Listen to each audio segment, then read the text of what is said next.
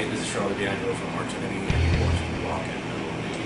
Hey guys, this is Ron from YouTube's Rock and Metal News with a Rock and Metal News update.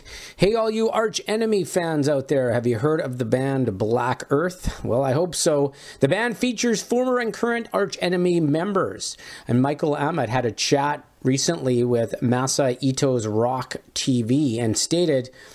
Together with Trooper Entertainment, we put together a compilation of our favorite tracks from the first, second, and third album that featured these guys, with Johan Liiva on vocals and Chris Amott on guitar and everything. And we put together a compilation album of that 90s material.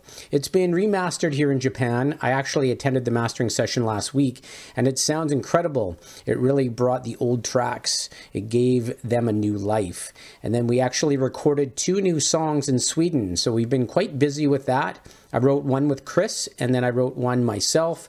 They're called Burn on the Flame and Life Infernal two brand new tracks that are kind of in the style of what we used to do. So get ready for two new Black Earth songs and uh, this compilation that they're putting out. So should be cool. So uh, check out the video with Chris Amott uh, in the interview in the link in the description. This is Ron from YouTube's Rock and Metal News. Thanks for tuning in.